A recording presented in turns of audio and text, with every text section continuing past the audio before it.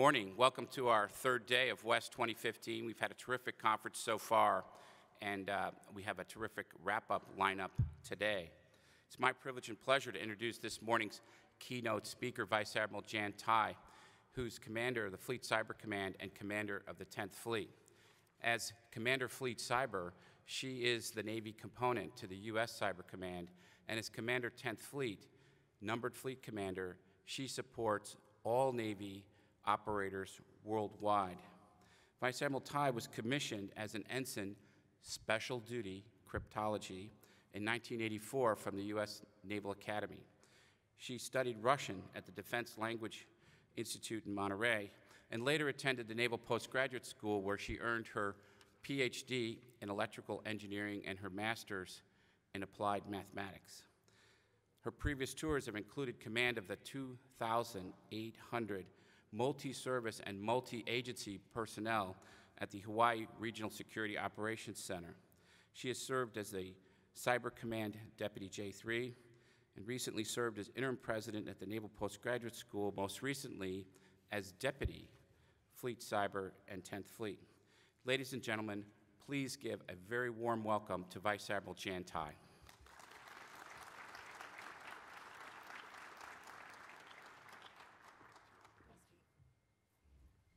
Well, good morning. It's a pleasure to be with you this morning. Um, really, a pleasure. Those of you from the East Coast who haven't checked, it's 31 and snowing uh, near Baltimore, anyway, which is where I checked, near my home. Um, it would be easy and perhaps fun to spend the next hour or so talking about cyber and our operational challenges. Um, okay, maybe I have a warped sense of what, what constitutes fun, but uh, I'd first like to provide a bit of context. I know we do have multi-service uh, folks that participate in this forum and, and who will see this online, so I wanted to give a little bit of time putting things in perspective and in context with respect to the Navy's approach to information dominance uh, before I dive down more into the fleet cyber and more into cyber warfare in particular. Um, into this this journey really began in 2009 when the Navy took a truly unique approach to tackling the information age. Uh, on the Navy staff, we combined resource portfolios of the N2 and the N6 into an information dominance portfolio uh, under a single three-star, the DCNO, who we have here with us today, Vice Admiral Twig Branch, um, with the intent of creating an operational advantage by fully integrating the Navy's information dominance capabilities in a way that optimizes decision making and maximizes warfighting effects. Um, that is the combination of intelligence, all intelligence, imagery intelligence, signals intelligence, human intelligence, um, combined with command and control and data links and cyber and electronic warfare. Um, we added platform-based capabilities as well in the form of EP3 and SPA aircraft, unmanned ISR, systems, uh, the E2Cs and Ds, can't say that without smiling, um, cooperative engagement capability, tactical data links, implications for uh, Navy integrated fire control, counter air. That transformation started at the Pentagon and has continued to permeate our Navy organizations and workforce ever since uh, we have established the Information Dominance Corps and Information Dominance Warfare qualifications that bind it and operationalize these critical warfighting specialties as a whole, which is much greater than the sum of the disparate parts. Uh, we've created an information dominance strategy to transform information in warfare to information as warfare. And it revolves around three distinct pillars one is the assured command and control, the second is battle space awareness, and the third is integrated fires. And these ideas and these capabilities are considered at the OPNAV level inside of resourcing, inside of planning, programming, budgeting, and execution together as a whole, as opposed to distinctly separate and not worrying about how they fit together. And so um, we believe that that is a, a very uh, strong capability that the Navy brings and an, a unique approach of, uh, you know, of tackling the problems that we have. In January 2010, the next step in that transformation occurred with the uh, commissioning of Fleet Cyber Command and the reestablishment of the 10th Fleet, reporting directly to the CNO as an Echelon 2 Command and as Navy Component Commander to U.S. Cyber Command and Service Cryptologic Component Commander to the National Security Agency, also a Navy Component Commander to STRATCOM for space. And finally, in October of 2014, we established the Navy Information Dominance Forces Type Command, commensurate with other Navy type commanders, whose, whose mission is to generate readiness for all information dominance capabilities, and especially me as operational commander at Fleet Cyber and other operational commanders around the fleet. It's an exciting time for our warfare domain, and I would say that we are at the end of the beginning when it comes to information dominance. If we dive down uh, more specifically into my responsibilities at Fleet Cyber Command and 10th Fleet, on a daily basis, we conduct interrelated complementary missions. It's not all information dominance missions that uh, reside at, at Fleet Cyber, it is a subset. But we serve as the Navy's central operational authority for Navy networks and communications, SIGINT, information operations, electronic warfare, and space. My missions are directed by a single commander and a supported staff who are principally responsible for planning and employing the force.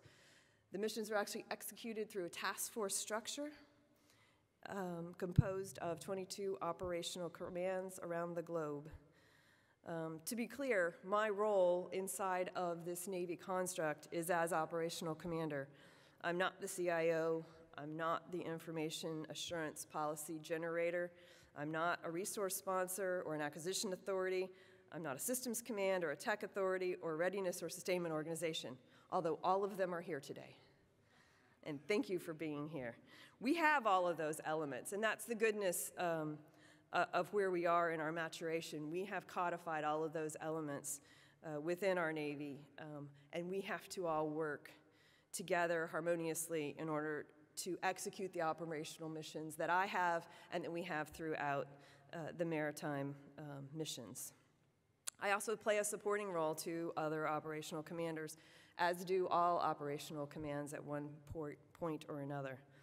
But unlike on op other operational commanders, my operating forces do not flow in and out of my operational control. Uh, my operational forces do not flow in and out of my AOR, if you will. Fleet Cyber operational forces are operating globally and always on. Our mission never sleeps, and we cannot accept a readiness bathtub in this operational domain. Accordingly, our type, our type commander, Navy uh, Information Dominance Forces, will have the challenge of generating readiness for Fleet Cyber Command operation, operational forces while we are on mission and while we continue to grow and expand the operational force and our operational capabilities. And yes, you just heard me say grow and expand at a conference whose theme is lower budgets, higher demands. Well, we got the higher demands right. And clearly, the threat in this domain is continuing to grow and mature, and Navy is making choices and investments to keep pace with this threat. Operations over the last three years and demonstrations that we've been able to accomplish have driven focused and planned investments in personnel and capabilities amounting to nearly $1 billion over the period from FY14 to FY20. Of course, this is built on the premise that our future year budgets will not be sequestered.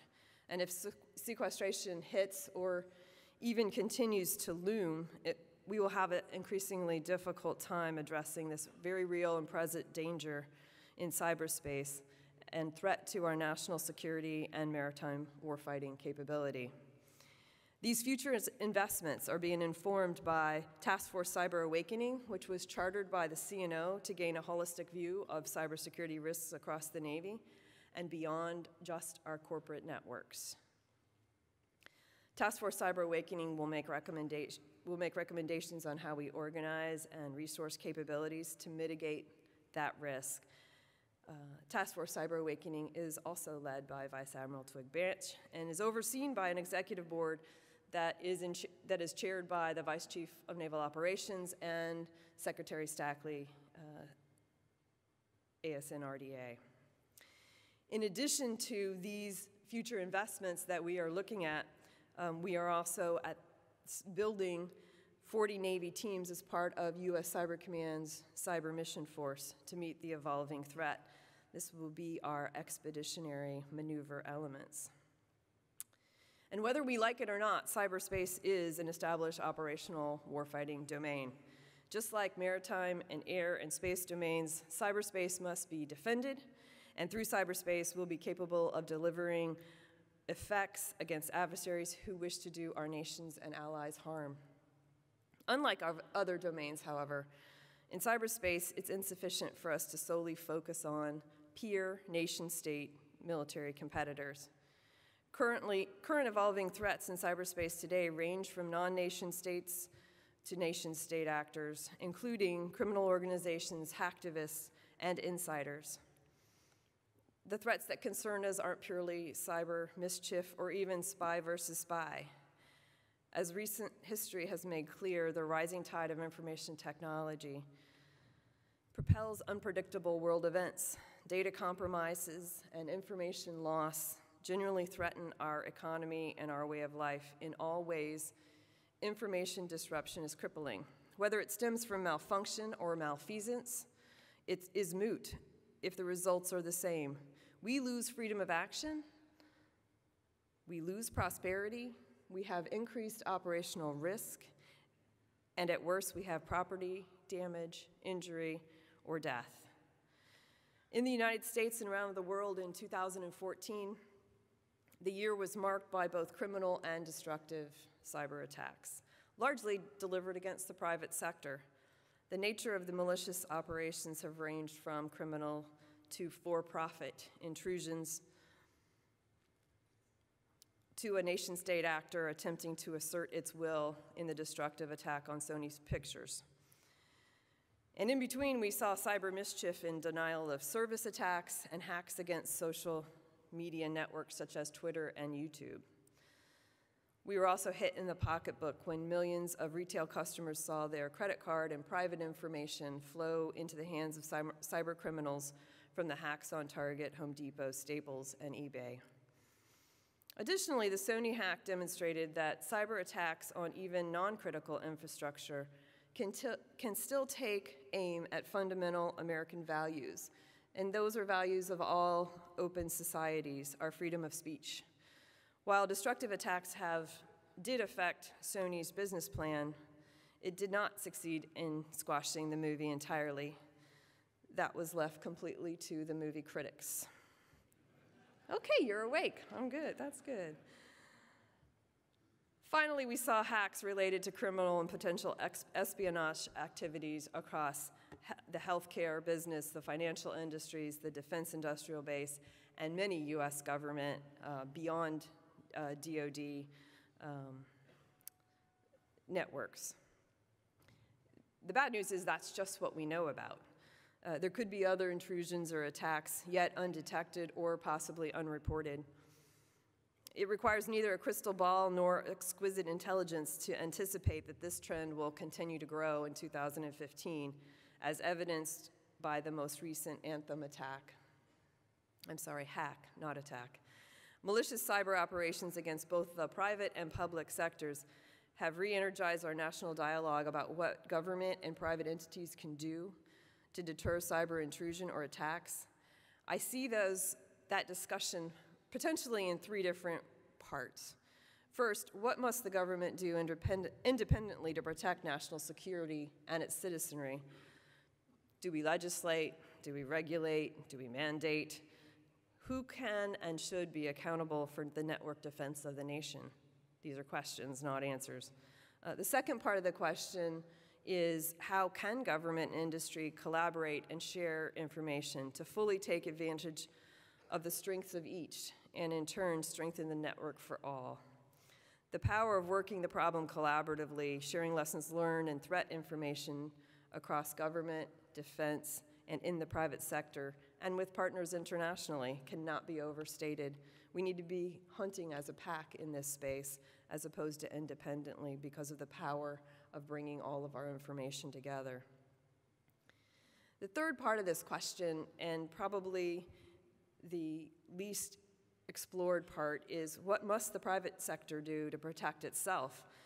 I believe that investments in network security and defense are quite simply investments in mission success. That is a choice that can be made or omitted by the public, defense industries, or the government sectors. But those of us who understand the risk to mission or to profit or to pub public trust view this as a mandatory and integral part of doing business, and the Navy is making that choice to invest in our defense. Much of the risk to our networks, and especially the risk to private net sectors networks, come from non-nation state actors and criminal organizations, and those threats can often be defeated with good cyber hygiene and commercially available security product, products. But it takes an active commitment and management, and I would also say ownership of the problem. As many of you, if not all of you, know in the Navy, we refer to this as commander's business. And it's not just this commander's business. Yes, my mission is to operate and defend Navy networks, but every commander who touches or depends on the Navy network has a role in securing and protecting it. Essentially, commanders cannot leave it to the CIOs or the IT geeks, and here at AFCEA I use that term affectionately since you can't even spell geek without a double E.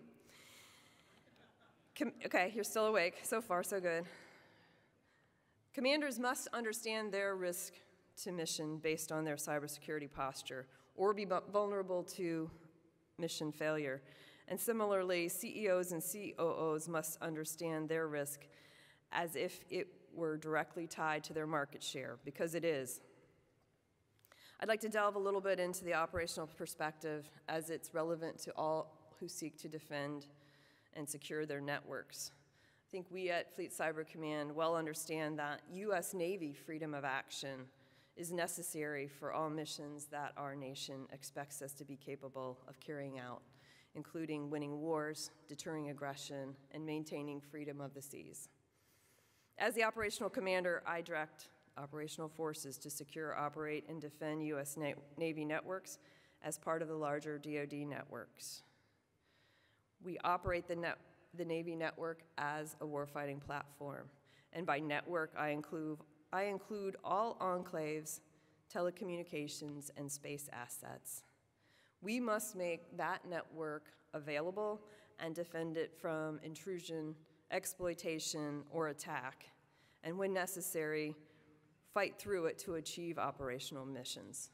Meanwhile, our adversaries are rapidly acquiring sophisticated tools. Plus, they know how to use them. Success for us means winning every day. Success for adversaries can result from one single score. As I suggested, I do not fully control all aspects of this warfighting platform, and specifically the intrusion attack surface, or that opportunity that we present to adversaries to get into our networks. Our networks have inherent vulnerabilities. They could be misconfigured, or insufficiently patched. Users do not always fully understand the ramifications of their online behaviors and unintentionally open doors to malicious actors. If we could close every single one of those holes and minimize the attack surface to the bare minimum uh, exposure, a new zero day would be published the next day, such as heartbleed or shell shock, that expands the attack surface in both unimaginable ways and often unquantifiable ways in terms of being able to assess our risk. So we work with the TYCOMs and the SYSCOMs and our mission partners every day to minimize that attack surface by educating both commanders and users, modernizing unsupported systems, improving patch maintenance and configuration control, inspecting compliance, and reducing our collective risk. We combine this approach, this uh, that I would call shaping the attack surface, with a defense in-depth approach from the boundary of the internet to the individual host devices inside the Navy networks. We leverage all source intelligence to inform and monitor emerging threats and arm our network defenses. Additionally, we conduct surveillance and reconnaissance inside of our networks to detect adversary activities or adversaries trying to penetrate our networks or moving laterally by layering sensors, analysts, and hunters inside that network. We also use intelligence, surveillance, and reconnaissance to trigger countermeasures that prevent the intrusion in the first place, or lateral movement, or exfiltration of data. Or we use that information to preemptively maneuver our network out of harm's way when we see a threat coming. As threats are discovered, we must pursue them quickly and aggressively. Tide and tide, time and tide, wait for no man, no woman, or cyber hunter, and neither will our most dangerous cy- cyber adversaries who have the ability to move rapidly and cover their tracks to deter our pursuit of them. This is the nature of cyber operations. The defense can nev- neither sleep nor remain stagnant. It must dynamically transform to meet today's threats and anticipate tomorrow's. Accordingly, my vision for Fleet Cyber Command is quite simple to conduct operations in and through cyberspace, the electromagnetic spectrum, and space to ensure Navy and joint freedom of action and decision superiority while denying our adversaries the same. We can only win in these domains through a collective commitment to excellence and by strengthening our alliances with entities across the U.S. government, Department of Defense, academia, industry, and our foreign partners. We're currently in the process of updating our strategic plan. It has a slightly shorter gestation period than a human baby, but it has very similar characteristics for me. Um, we're planning to get that out by the end of this month. And an outcome of that strategic plan will be to be capable of measuring the value that we bring to Navy and Joint Commanders based on our ability to accomplish my five top tier goals that I'd like to talk to you a little bit about. As I said, we intend to operate the Navy as a network, as a warfighting platform. We didn't acquire it that way. We didn't buy into sustaining it in that way, but we want to operate it in that way. And what that means is um, tracking and measuring the availability of that network for all missions across the Navy and making sure it's secure, preventing penetrations of the network. If penetrated, quickly responding to it to prevent lateral movement or uh, password escalation and privileges of people who don't deserve those. So, top priority, number one goal is operating the, net, the network as a warfighting platform. My second mission, and as I talked a little bit about, I also have responsibilities uh, as the service cryptologic com component commander to NSA, is to conduct tailored signal intelligence. And that comes in perhaps three different forms. One is providing capabilities forward uh, to our tactical platforms uh, for maritime commanders forward in the form of teams. The second is providing expertise and capabilities, and in some cases, mission accomplishment for the National Security Agency. And the third piece is sort of a bridging piece that we do at our cryptologic centers, which is leveraging each, the strength of each, our tactical SIGINT capabilities that are forward, our national capabilities that are global, and bringing those together to benefit the maritime commander with the national capabilities and to benefit national um, intelligence priorities based on leveraging what we can do forward in the operational space. And so we, we have a commitment to uh, continued excellence in this part of the domain, and we are going to track and monitor our success in that. Um, my third goal is about delivering warfighting effects. You heard integrated fires on the strategy from information dominance. We have a role in delivering warfighting effects across electronic warfare, information operations, and cyber.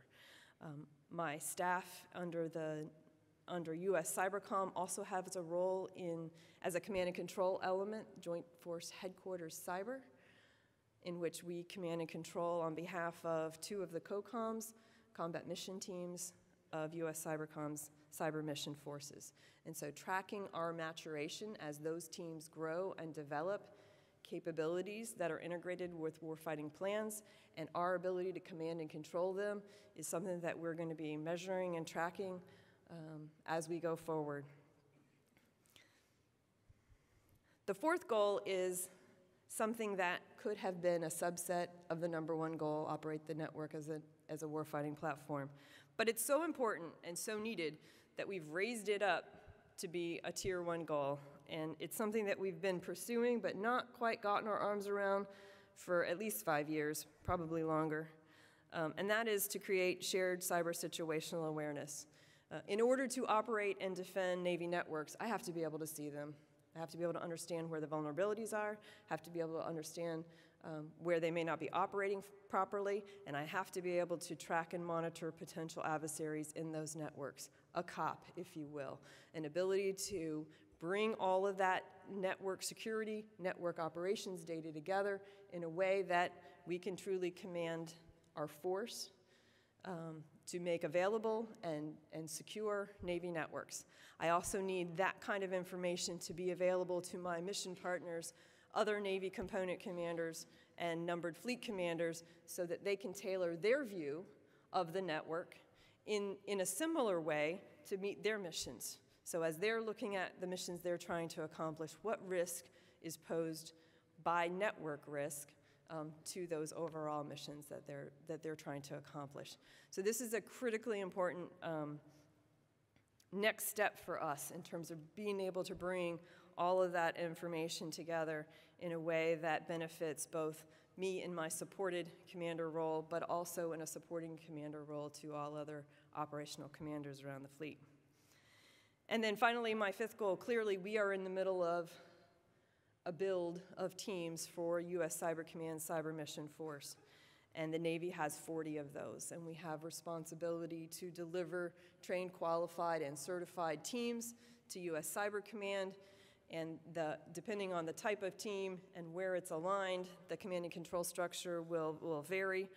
But those, the three types of, general types of teams that we have out there are the national mission teams that are slated to defend the nation against cyber threats, the combat mission teams that are being created to support COCOM requirements in cyberspace, and then cyber protection teams that go across different elements. We have service cyber protection teams um, that will support Navy in mapping key terrain and actively defending against threats, but there are cyber protection teams for the combatant commanders, there are cyber protection teams for DISA, and it's intended to be a maneuver force that can either, in a preventative way, go forward and map key terrain and install sensors and assure missions of other warfighting commanders, or in the event of um, malicious activity, uh, surge forward to go investigate, clean up, pursue, the adversary um, in cyberspace. And so that's, that's goal number five, and that drives us forward. Um, we have measures that we're going to be measuring ourselves actively against each of those goals, and 18 um, month measures that we're trying to get to, but really these are, these are uh, a longer term longer term goals that get us down the road and continue to mature our capabilities, and our ability to command and control this force.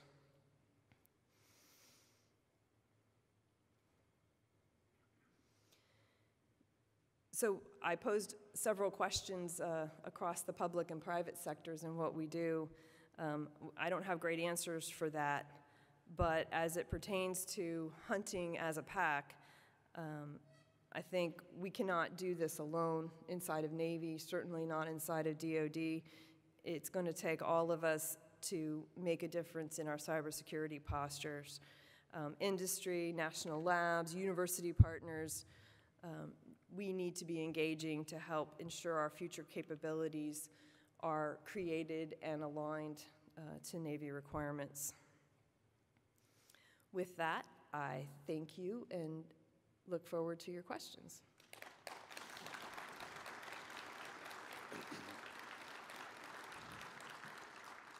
Good morning, ma'am. The first question is from Lieutenant Nathan Rolfe from NCIS Cyber Division, and he asks, you corrected yourself regarding Anthem, referring to the activity as a hack instead of an attack.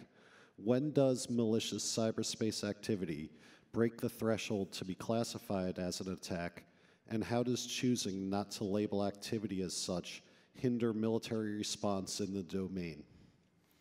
That's a, that's a great question. Um, I think that clearly, because of the newness of this warfighting domain, um, we have, we as a nation, we the DoD, um, have been engaged in, in a lot of dialogue um, to try to get at, you know, what's going to constitute standards and norms of behavior. International law is based on those things. And since we don't have a lot of runtime with cyberspace and in this domain and with this evolving uh, type of actions, there is no standard.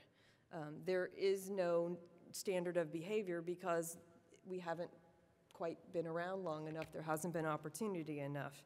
And so, you know, I, I try to guard my words to limit attack to um, be those things that are destructive in nature, either destructive of data or destructive of property. Um, but I would say that, you know, as an, the international community does not have that completely figured out. Um, and it's going to take some time before, you know, we sort of settle in on what we think the standard is. That being said, it doesn't prevent the discussion in terms of law of armed conflict, use, of, you know, what constitutes use of military force, um, what violates sovereignty, that debate, policy debate, not an operational debate, policy debate that goes on at the highest levels of our government and with international partners, and it will continue to go on um, and, you know, we have to be active participants in it, but again, not the policymakers. We are the execution of, of that policy for our government. So that's a great question, and I think that that debate will continue. Um, we do have the Tallinn Manual as a, as a, as a piece of liter, you know, literature to um, use and talk about, uh, but not necessarily internationally accepted as the standard. And so I think the discussion goes on, and, and that's a good thing in our country, particularly. So. Thank you. Next question is from CTNC Hall from Navy Cyber Unit 23. Oh, this is going to be hard. How do you see the Navy service cyber protection teams impact in the fleet? Well, as you probably know better than anyone, we are really on the front end of the build for the service uh, cyber protection teams. We're um, very excited about it, and as I alluded to in my comments, uh, we're looking at different types of mission for those service cyber protection teams. We have them roughly aligned geographically with the Navy component commanders and numbered fleets, but available to surge in the event of incident or incident response. And we have used those teams um, in missions that range from um, working with foreign partners to go in and take a look and help them secure their networks, so whereby we, if we're going to connect and operate with them um, in military operations, we would want to know that the quality and the security of their networks are good. We've, we've used some of the teams in that way. Um, we've used the teams to respond to what appears to be malicious activity in order to go verify, isolate, prevent, clean up, restore integrity.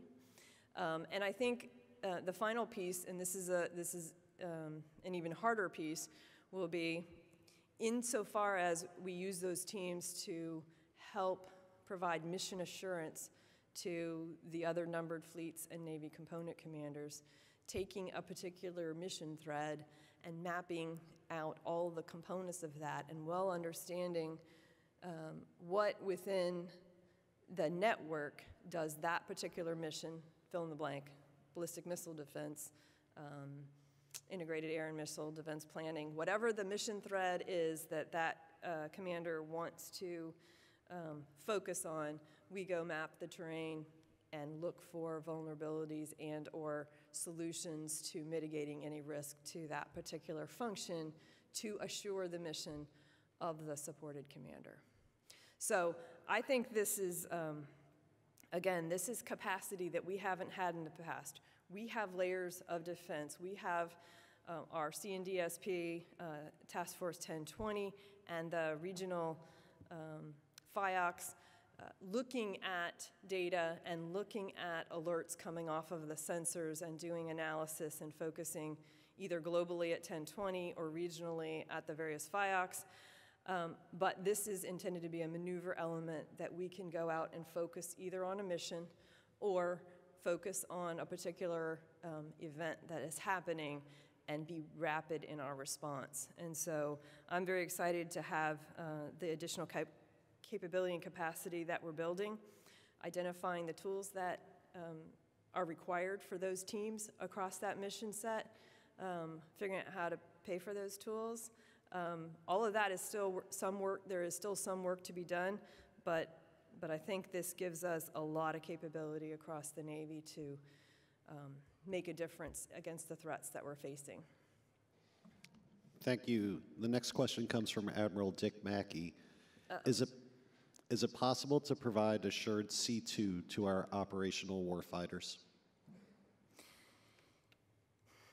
Is it possible? Um, I think this is a this is a problem that obviously is larger than cyber. Um, you know, it gets into uh, several of our information dominance capabilities, and we have, you know, in the last uh, several years, been very focused on operating in a denied environment and looking for both technological and uh, more recently operational ways in which we can make a difference there.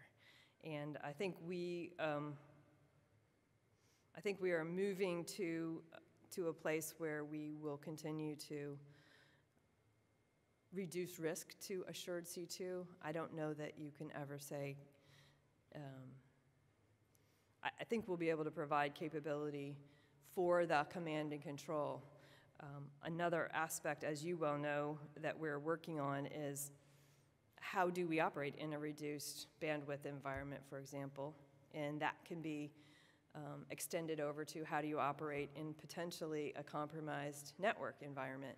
Um, the fight through concept is something that we've been working on, and by we, I mean the numbered fleets, the mission, our mission partners, in how they they will conduct business if they're operating in a um, denied or restricted environment. And so we're helping with that. We're going to take that idea and move it into the network domain and look for things we can do within the maneuver space um, to make those capabilities even more assured for them. But I think it's, um, you know, I'm the one who's, who, who wants to believe that we can provide that 100% of the time. At the same time, we're going to help figure out what if you don't have that. And that could happen even if it's not an adversary. Um, you know, there may be technical difficulties that result in not having what you thought you would have. And so how do we, how do commanders respond to less capability than they expected? With innovation and, and practicing it and exercising it is, is how we get the juices flowing to, to figure some of those operational tactics and techniques out. So I got a thumbs up from Admiral Mackey, so I think we're good. Next question. The next question comes from CT N2 Roth from Navy Cyber Unit 23. What do you feel is necessary to properly train and equip cyber protection teams to be effective amongst the different warfare areas in the fleet? Like I said, the hardest question is going to come from our CTN2s. Um, no, that, that, that's a terrific question. I think we have um, a lot of our brightest minds really working on that. We've got the beginnings of what training looks like, but I don't think we have uh, the end of it. And the reality is, um, our national mission forces, those, those, they have cyber protection teams as well. Their cyber protection teams came on first. Um, they've done uh, actually a lot of thinking about what equipping and training looks like, and we're trying to determine whether that um, comes down to the service level directly or whether we have unique capabilities that we need to build in the force. I believe that we probably need to build some unique capabilities into our force, but whether we build it into every cyber protection team or we build some special cyber protection teams to be capable of going into places other than corporate networks. Um, it's different skill sets, it's different tools, it's different knowledge, and so how we build teams to go look at other than corporate C2 networks is something that we're actually working on. I think there's great opportunity here. We haven't identified what those tools might be. Not sure that they're commercially available. Um, so we are, we are still a, a work in progress in defining the mission sets across the cyber protection teams. Again, we're just standing those up. Um, and will be over the next three years, um, defining what the tools look like for that capability uh, moving forward. So it's a great question. It is uh, not a great answer, but uh, it is something that we're working very hard with our service partners and the National Mission Force on getting to. Any more CTNs in the room? Yay! Thank you. The next question is from Lyndon Newton at PacFleet. What can be done to advance planning and organizing for integrated fires? Well, as you well know from our Terminal Fury 11 days, um, you know, we've been on a path to.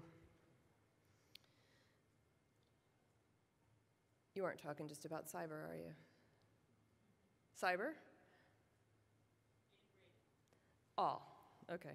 Um, in the, let's start in the cyber, the cyber aspects, though. Um, you know, we have been on a path from the U.S. Cyber Command level on down to create uh, cyber fires, um, cyber tasking orders, line items that are capable of being understood and integrating, integrated in with other non-kinetic and kinetic effects in an overall integrated um, tasking order kind of a, kind of a way. And so um, that, you know, that process got created about in the 2010-11 timeframe, and we've been exercising it ever since. Um, I think that uh, continuing to build on those processes, practicing them and exercise, which we have everything from Cyber Flag, a, a focused and dedicated um, cyber exercise at the tier one level, um, which can, is continuing to evolve, bringing more of the COCOM play into that exercise as opposed to, you know, being more strictly um, cyber people at the exercise. I think will help mature us in that domain, but then integrating into the other tier one exercises with just another part of that exercise, um, bringing those capabilities and, you know, in integrating in in at the COCOM level and other levels is, you know, how we're going to continue to mature. I think we have the process for integrated fires. It's just a matter of fitting, you know, fitting all the different elements into it. Um, the Air Force has taken an approach in their cyber element to take all cyber operations that they're conducting and treat them as sorties, which from the Air Force perspective makes a lot of sense. They think in terms, they, you know, they do think in terms of sorties, and so managing their force, everything they do, every, for example, um, sailor on a cyber protection team that goes forward with a laptop to check something out, he's going to be a line item on that ITO. I think that fits within their service culture. I don't think it fits within ours. And so, as it pertains to um, you know, strike missions as it pertains to offensive potential cyber fires or offensive effects. Um, integrating on the ITO makes a lot of sense to me.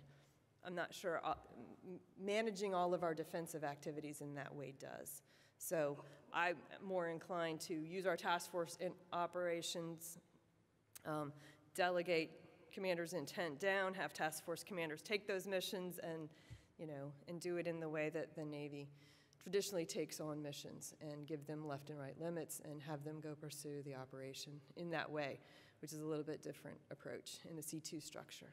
But we're, at the joint level, we're talking about how all of that works, which is uh, good and right. And uh, this was briefed, the Air Force briefed it at the Commanders Conference.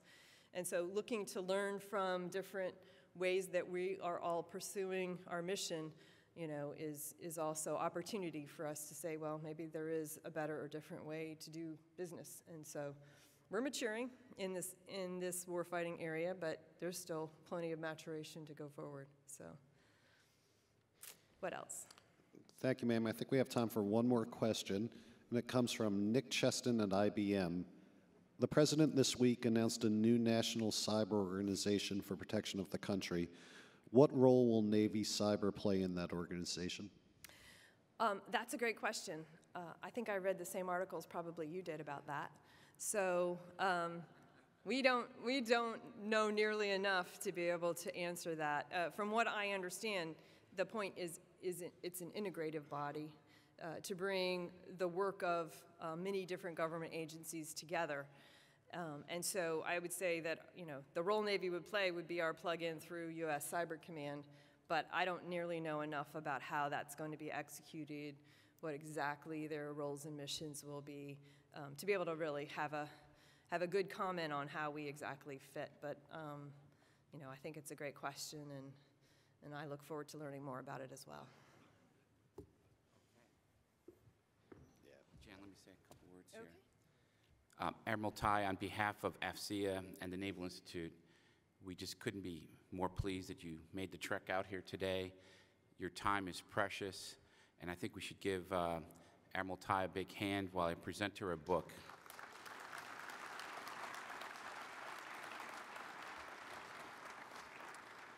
We, we think it's super appropriate to give you Joe Rochefort's War, uh, the odyssey of the codebreaker who outwitted Yamamoto at Midway.